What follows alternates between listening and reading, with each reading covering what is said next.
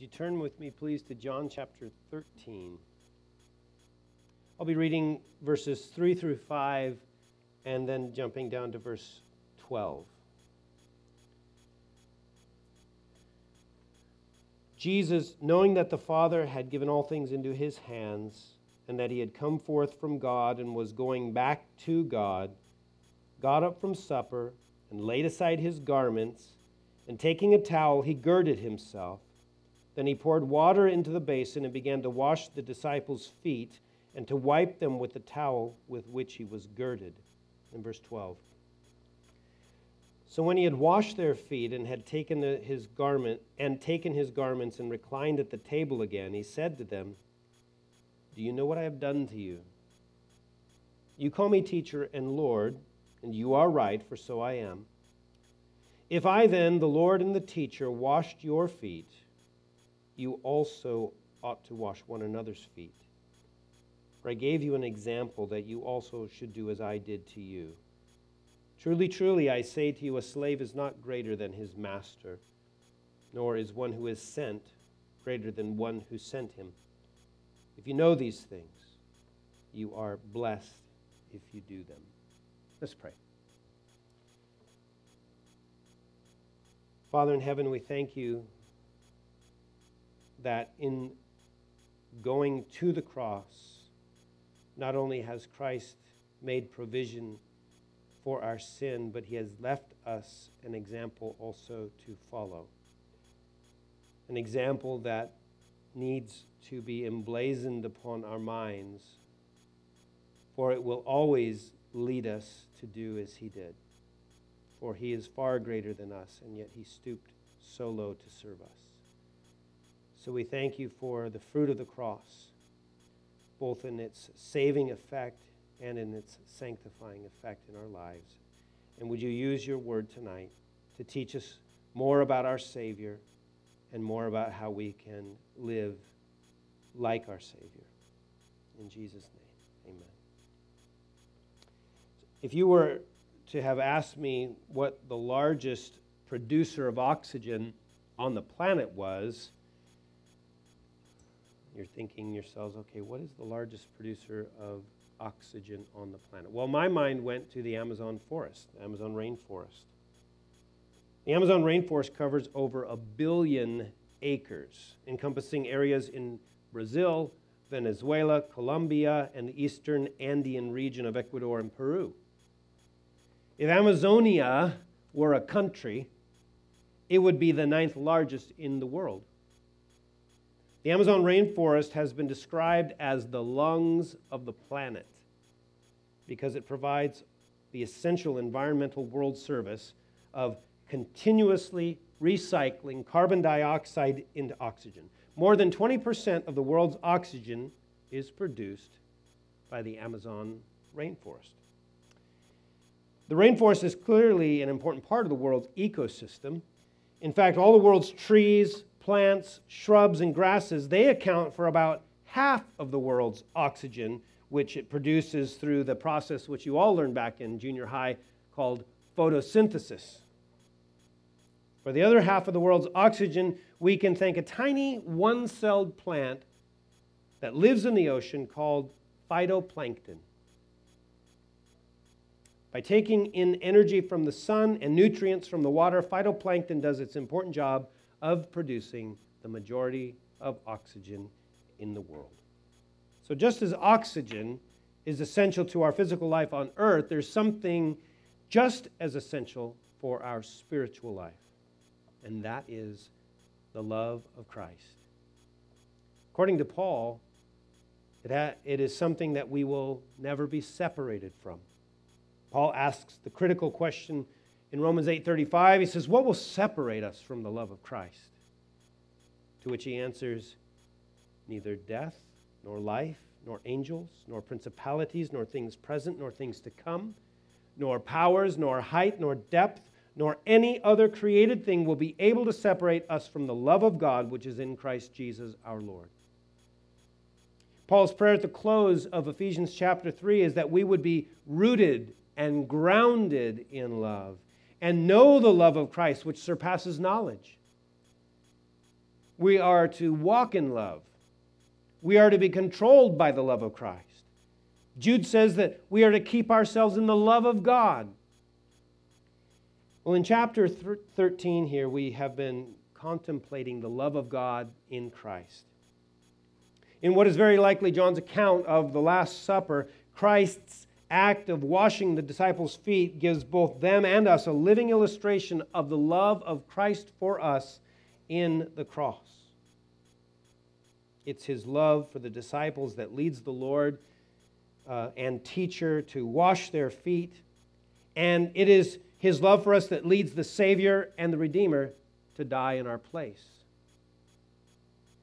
Through the picture of kneeling and washing their feet, and through the reality of bleeding and dying on the cross, Jesus is creating a fellowship of those who have been cleansed by him. It's God's will, it's his desire that this, this fellowship be characterized by the same self denial that he had for the sake of those that he humbly and sacrificially served. See, if you want proof of Christ's love, there's no greater proof than the cross. If you want a picture of the character of Christ's love, well, there's no clearer picture than the cross. And if you want Christ's love produced in you, there's no stronger producer of that than the cross.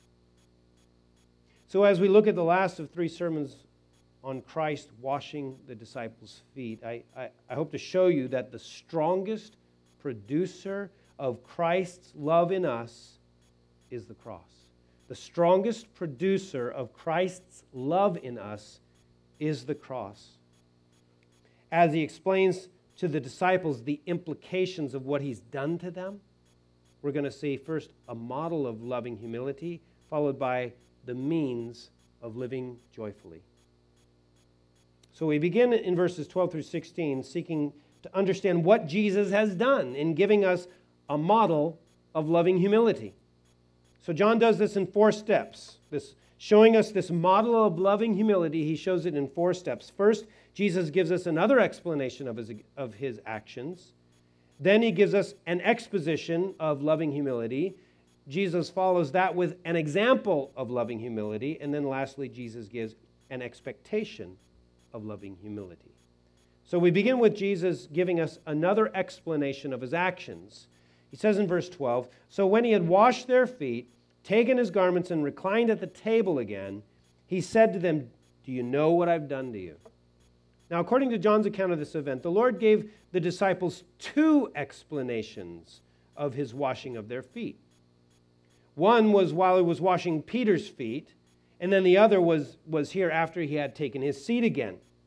His first explanation, which we looked at uh, the last time, was mostly theological in character. The actual foot washing was symbolic of what Jesus would do on the cross by humbling himself to endure the, the death of the cross and the soul cleansing results of his death for all who would believe in him. And so in our passage today, in verses 12 through 17, the explanation is of a more practical nature. Jesus washed their feet so that from his example, these disciples may learn to serve one another in the same loving and humble fashion. Now, some people are troubled by this explanation here, thinking that this indicates uh, there is another author somehow involved in the writing of the Gospel of John, which I think is really unnecessary. We can see how this second explanation is appropriate by simply reminding ourselves of the conversation that, that Luke says took place between the Lord and his disciples in the Last Supper in Luke 22. There, as they, they were disputing over who was greatest, Jesus drew their attention to his own example. He was the greatest one present at the table, and yet he chose to serve them. In Mark's gospel, though, his account of that scene recalls how Jesus' examples, Jesus' example of humble service is brought into the closest association with his sacrifice on the cross. He tells them that if anyone wants to be first, he must be slave of all. Because even the Son of Man did not come to be served, but to serve and to give his life a ransom for many. So it seems only natural that, that John brings both of these now together in his description of this scene. And it's one of the many ways that God has designed his word to show both its harmony as well as its consistency. Now, notice though that, that Jesus desires these men, his disciples, as he desires it for us as well. He, he desires that we would understand the implications of his actions. Do you know what I've done for you? He says. See, when Peter refused to let the Lord wash his feet, Jesus told Peter that he would understand what he's done here. He said, You'll understand later. And as we've discussed, I think Jesus has his death, his burial, his resurrection, and the coming of the Holy Spirit at Pentecost in view here. That's all in view of what he's trying to get them to see and that they'll understand later. But the other lesson, that of demonstrating loving humility towards one another, that one's clear. This one is readily available. I want you guys to get this right now. I want you guys to understand this right now. The other you're going to understand later when the Spirit comes. This one, you need to understand this right now. He's given them a clear demonstration of that by his actions. And so while the cross is the, is the main picture here, it's soon going to come into very clear focus in 24 hours. Another much needed lesson for these men can be grasped right here. The situation is a little different for us. We can see both of these things clearly. We can see the cross and we can see the practical example right here. So, Paul, he masterfully tied together the cross with our need to serve one another in loving humility. And he does it in Philippians chapter 2. You're familiar with these verses where he said, Do nothing from selfishness or empty conceit, but with humility of mind, regard one another as more important than yourselves. He says in Philippians 2:8 he says being found in appearance as a man he humbled himself by becoming obedient to the point of death even death on a cross. And so this this is the vantage point that I want us to work from where the cross is in full view here. Even though it wasn't for them, it is for us. And this brings us to our first application. Center your life in the shadow of the cross. Center your life in the shadow of the cross. Jesus asks these men, Do you know what I've done to you? There was no need to wait for an answer. They knew that their teacher and Lord had just performed the lowliest of services to them. What Jesus had done to these men in washing their feet, it has implications. What Jesus will do for these men on the cross, it has implications. And what Jesus has done for us on the cross, it has implications. And the key question for them, as well as for us, is do we know? Do we understand? Do we comprehend the implications of what Christ has done for us? Serving one another in loving humility is an absolutely essential component to our life as a Christian. But it doesn't stand just on its own. Jesus doesn't simply say, serve one another because I say so. Right? He doesn't do that. What our Lord is showing us here in a very small way through the foot washing, but in a far much greater way through the cross, is what is absolutely true of him in terms of his character, and it shall be true of all who follow him as well. Serving one another in loving humility is not simply a helpful ability or a skill that, you know, it would do good that we all learn that. No, as if, as if we were learning how to balance a checkbook or learning how to play a piano or something like that. That would be a good skill. You should pick that one up. No, in loving humility, Jesus serves these men in this way. And he goes to the cross for us. Why? Because he is humble because he is love. And what are the implications for us? We shall be that way, or else we're not his followers. Now, I don't know about you, but serving others in loving humility, it does not come easily to me. If I put my mind to it, I can work hard, right? I could learn, let's say, to play the piano. And very likely, if I worked hard enough, I could learn to play it really well, maybe better than Neil. No amount of hard work, though, is going to make me more loving.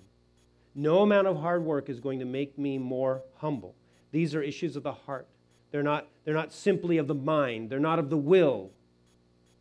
Anyone can choose to do something that is humble and loving, but given what the Bible says about the human heart, we need to understand that that is not coming from a heart that is capable by itself of being that way. And this is why we must keep the cross central to our lives.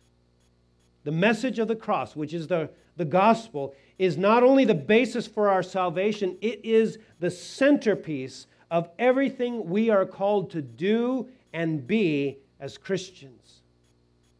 Paul is going to talk about joy as a Christian, he's going to tie it to the cross. If he's going to talk about Christian morality or fellowship, he will tie it to the cross. And if he wants to speak about the doctrine of God or anything else, he always ties it to the cross.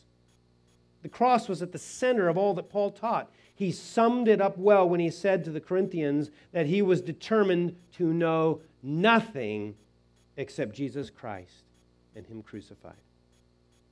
The cross, it's the means of our salvation, and it is the means for our sanctification, our transformation into followers of Christ that are actually like Christ.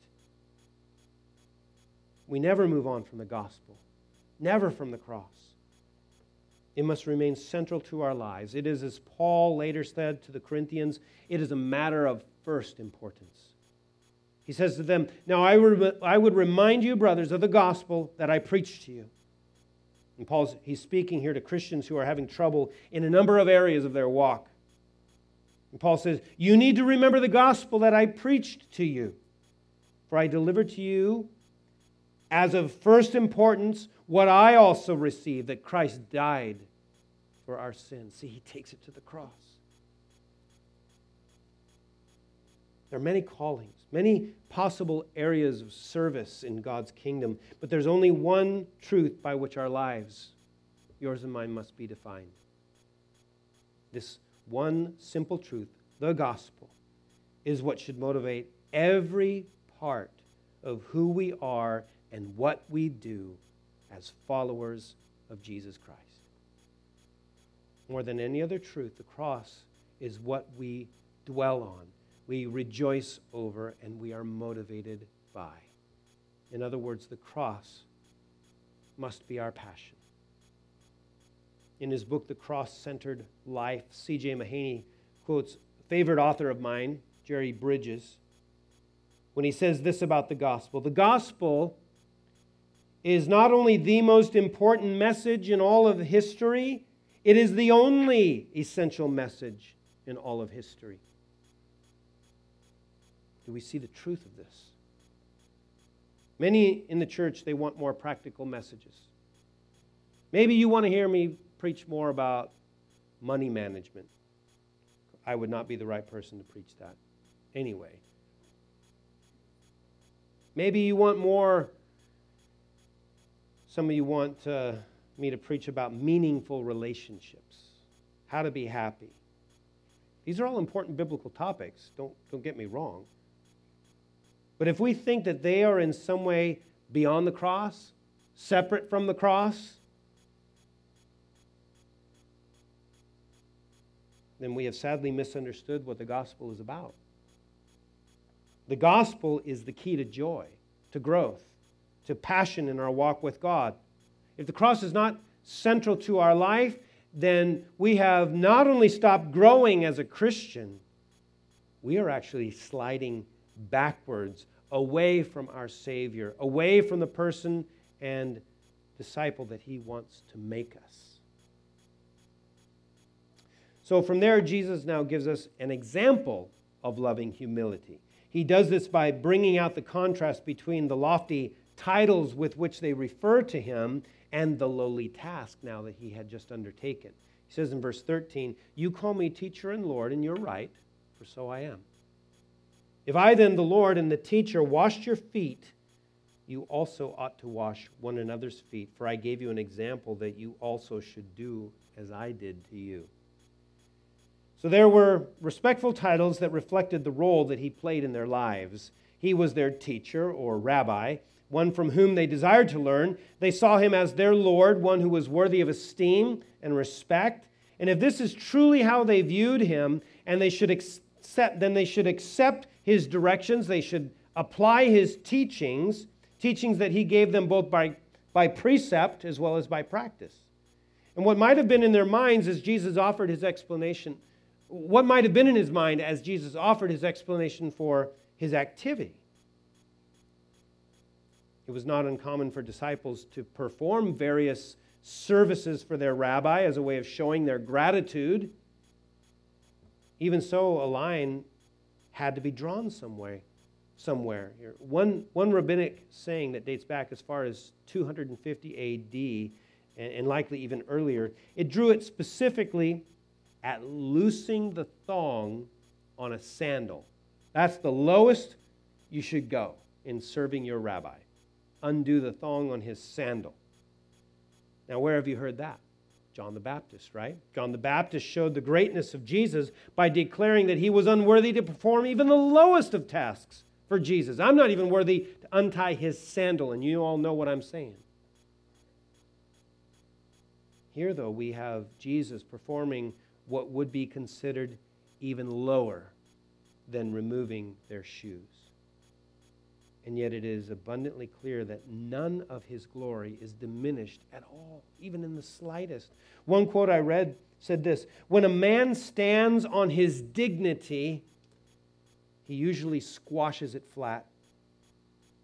See, we never see Jesus using his divine dignity to gain prestige or privilege. Not so with his disciples, though. Not, that was not the case with them. Where, what Jesus did here deliberately and yet also without hesitation, it doesn't diminish his dignity at all. In fact, it, enhances it. His selfless act of service further manifested his glory as the Word made flesh. And when it came to the well being of others, nothing was beneath him. And now, as a result of his example in the upper room and on Mount Calvary, nothing should be beneath his followers either. He's not calling them to wash one another's feet as if he's establishing some new sacrament for the church, along something to do alongside of baptism and communion. We don't, we don't wash one another's feet. He wasn't establishing that as a practice. No, this is a call to loving care for others that regards no task as too menial, no service as too great. Nothing is beneath us, and nothing should stand in our way of ministering humbly to all. So, seeing their Lord and their teacher washing their feet, it was stunning enough. But once again, it's the cross that brings this lesson for us into, into full scope. This is a lesson of how we are to relate, relate to others. Serve others in the shadow of the cross, is our second application serve others in the shadow of the cross. David Prior said, We never move on from the cross, only into a more profound understanding of the cross. We never move on from the cross. You may be a very different person from the sinner that you first when you first heard the gospel, however long ago it was. But wherever you are at today in your journey with Christ, you have not moved on from the cross. If you want to grow and thrive as a Christian, which includes your relationship with people, don't look to the Spirit to take you anywhere else beyond the cross. Look to Him to take you more deeply into the cross. Regardless of your relationship to others, whether you're single, whether you're married, a husband, a wife, a father, a mother, a grandparent, your faithfulness and effectiveness in your relationships are directly tied to your understanding of the cross. Love is absolutely essential in your relationships because sin is absolutely unavoidable in them. You will sin against others, they will sin against you. And you're going to need to forbear others, and you're going to need to forgive others. And as we are reminded in our passage tonight, we need to lovingly and humbly serve others. Your relationship with others must be based on your relationship with God through the cross. In chapter 4, verse 32 of Ephesians, he said, Paul says, Be kind to one another, tenderhearted, forgiving each other, just as God in Christ has forgiven you. There's much application that can be drawn just from this verse, but let me limit it just to the context of our passage here that we're in. When I become prideful and lazy and selfish I am also assuming that I deserve to be served. And keeping the cross at the center of my life and in the center of my relationships with others, it will absolutely crush this mindset. And at the same time, it will transform it to what it needs to be. As I stand, so to speak, in the, in the shadow of the cross, it is there that I will be starkly reminded that I have no business doing anything from selfish or empty conceit. But with humility of mind, I must regard others as more important than myself. Why will this be my, re- my response to the cross? Because on the cross, I'm going to see this attitude in my Savior, who, although he was God, although he was worthy of all glory and honor, he did not regard equality with God a thing to be grasped, but emptied himself taking the form of a bondservant and being found in the likeness of men. So, in the shadow of the cross, I'm going to see the mighty God who willingly humbled himself to become a man. But he did not stop there. He washed the feet of the men he created. But more so than that, he humbled himself by becoming obedient to the point of death even death on the cross. See, God served us in loving humility on the cross so we can serve others also in loving humility.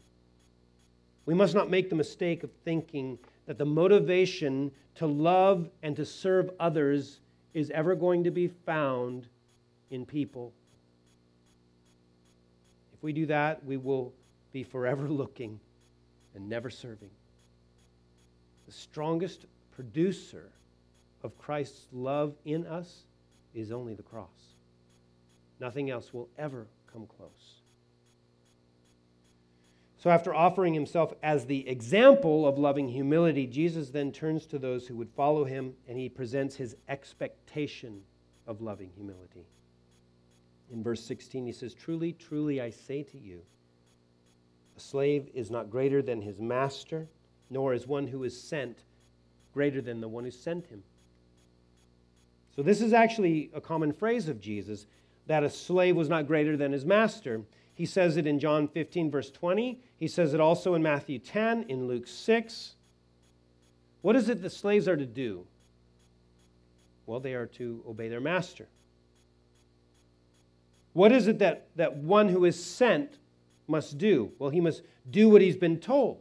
So Jesus' point here is unmistakable. If their Lord whom they are both to obey and heed, did not think it beneath his dignity to serve them through such a menial task, why should we ever think it beneath our dignity to serve one another with the same mindset? Many years later, the Apostle Peter wrote a letter to God's persecuted people during those terrible days when Nero was on the rampage, when when savage and terrible things were being done to the saints of God, and not only in Rome, but far and wide across the Roman Empire, Peter had many helpful words for those who were facing this fiery trial. To the younger members of the fellowship, he wrote, You younger men, likewise, be subject to your elders, and all of you clothe yourselves with humility toward one another.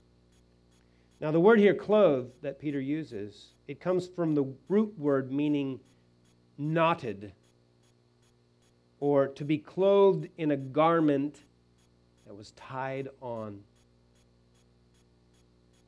The noun referred to the garment of a slave. And don't you wonder, as Peter had wrote these words, did he have in his mind's eye that unforgettable sight of the Lord Jesus? Just before he went to face the cross, tying a towel about his waist, wearing the garment of a slave, coming to him and saying, Now then, Peter, let me wash your feet. See, he saw his Lord clothed with humility. And he reminds us that we're to be clothed in the same way. Third application is suffer well and do good in the shadow of the cross. Suffer well and do good in the shadow of the cross. Jesus knew what was coming for these men. He wanted to equip them with all that they needed. And as we can once again see from Peter, God's plan for us, it's very likely going to include suffering. Sometimes this will simply be a prolonged season that's, that's uncomfortable. At other times, our suffering may be difficult and may even be severe. Where then does Peter go to bring hope and comfort and encouragement to those who are suffering for Christ? Where does he go? He goes to the cross.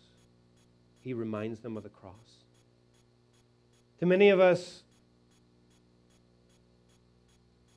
too many of us are not prepared theologically for suffering. We're just not. And so when we do suffer, instead of trusting God, we just complain.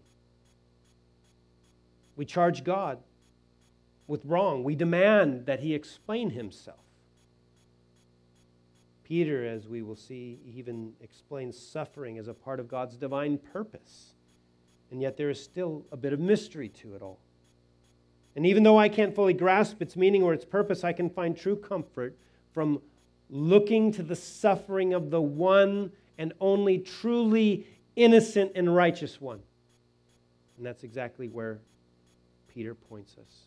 1 Peter 2:21 he says, "For you have been called for this purpose, since Christ also suffered for you, leaving you an example for you, leaving you an example for you to follow in his steps." See, take note that Jesus did not simply suffer for our salvation. His suffering was meant to be an example, a template of how we are to suffer. How is it an example? Well, while being reviled, he did not revile in return. While suffering, he uttered no threats, but kept entrusting himself to him who judges righteously. Jesus suffered well, and he did good. Remember as well that even on this night, Jesus washed the feet of Judas, the one who would betray him. And now, since, since we're not above our master, we, we are called to do the same, even if it means doing good to those who hate us. Now, this seems impossible to me, but by faith, I know it can be possible because of the cross. The cross serves as both the vehicle and the fuel for a changed life, a life in which we die to sin and we live to righteousness, a life in which love is produced in us when hatred might otherwise dominate. 1 Peter 2:24 says, "He himself bore our sins in his body on the cross so that we might die to sin and live to righteousness, for by his wounds you were healed." See, when life gets difficult and things don't go as, as we would like, that is when we need to have the cross central to our lives. Comfort in suffering is never going to be found by focusing endlessly on the suffering itself. Because in, for, for in suffering, there's always that impenetrable element of mystery that we're going to get hung up on. Why, God, are you allowing this? But if we will meditate instead on the cross, there we can find true hope, true comfort, and the strength as well to persevere in the difficulties and the painful seasons of the Christian life. So, having pointed to himself as, as the model of loving humility, Jesus now gives us the means to living joyfully. He says in verse 17, if you know these things, you are blessed if you do them. Don't expect the world to see the wisdom in taking such a humble place. Consider, though, who was the happiest person in the room that evening, that night. Was Peter? Peter certainly wasn't. No, he was most likely chiding himself for, for not having thought to be the first person in the room so that he could wash all their feet. I should have thought of this. Judas certainly wasn't the happiest person in the room. No, he was sitting there with his ill gotten gains in his hands. Paranoia was beginning to set in that his plot might be discovered. Surely Jesus was the happiest person, even though his immediate future was the bleakest. Happiness, it doesn't consist in knowing, but in doing, Jesus says. This beatitude, this, this promise of living joyfully regardless the circumstances, it will not be true for us until we are no longer content just to sit and listen and approve what is right. We must do it. This is the character of those who Jesus says will be in heaven. He says, Not everyone who says to me, Lord, Lord, will enter the kingdom of heaven, but he who does the will of my Father who is in heaven will enter. Jesus says, This is what the wise man will do. Therefore, everyone who hears these words of mine and acts on them may be compared to a wise man who built his house on the rock. Jesus says, This is what the true disciple will do. If you continue in my word, then you are truly disciples of mine. So let me end by, by giving you an example that I, I hope will in, in some way help us to see that however low we stoop to humbly and lovingly serve others, it won't come even remotely close to the infinite distance Christ chose to stoop to humbly and lovingly serve you and me. Psalm 19, verse 1 says, The heavens are telling of the glory of God. It's always fun to try to to put into perspective the size of our galaxy. There's, everybody makes some attempt at it in some way. Let me make one attempt here. Say that there are one million grains of salt in a, in a container of salt. So if, if we poured out all the salt, those one million granules of salt that are in one container, if we poured out all, all the salt in a 100,000 containers, we would have a rough equivalent of the number of stars that are in our galaxy. One billion stars, let's just say, in our galaxy. In order for us to comprehend the size of the galaxy in which God has placed all those stars, it would require, it would require us to take every one of those grains of salt, those billion grains of salt, and put seven miles between every grain. That's how vast our galaxy is.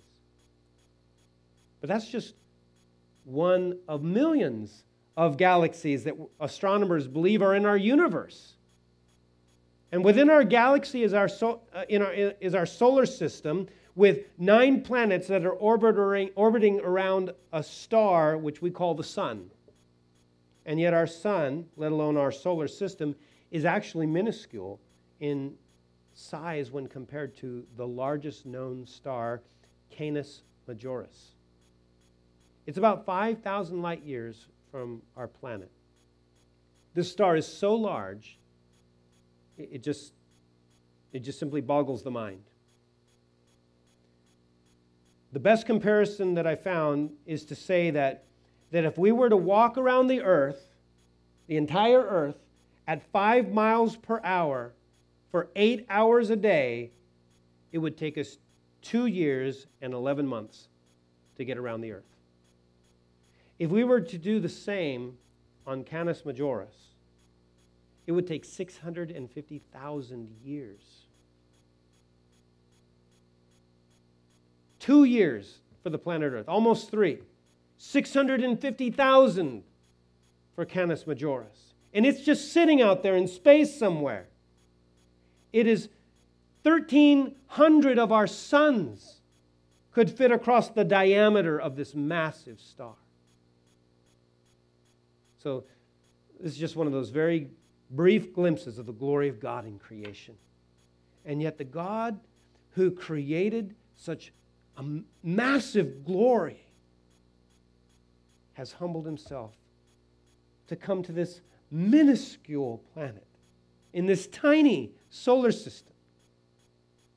And somehow, this, this glorious God, he was able to clothe himself in flesh and bone, and he walked amongst us, and he loved us greatly, and he served us humbly. And then, at the fullness of time, he died for us on this rough wooden cross.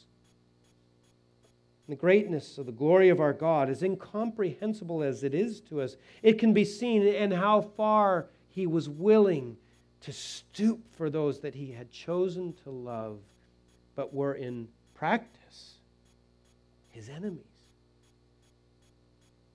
To those of us that He has rescued out of our sin, He now says, Go and do the same. See, if you think it's impossible to comprehend the size of Canis Majoris, try living this way in your own strength. That's even more impossible. You will only be able to do this as you keep the cross central to your life. Because this cross is the strongest producer of Christ's love in us. Amen. Let's pray. Thank you, Lord, for this much needed reminder of how central your death for us must be. We could never plumb the depths of understanding what you have done, but you have given us such a very simple and clear example in the washing of the feet of the disciples. We are to serve one another, and nothing that we do is too low. There is no task too menial no service too great for us to do in lovingly serving one another. I need to see this in my life, and I'm sure my brothers and sisters need to see more of it in theirs. So help us to go and to do the same in the power of your Spirit and in view of your cross. Please, in Jesus' name.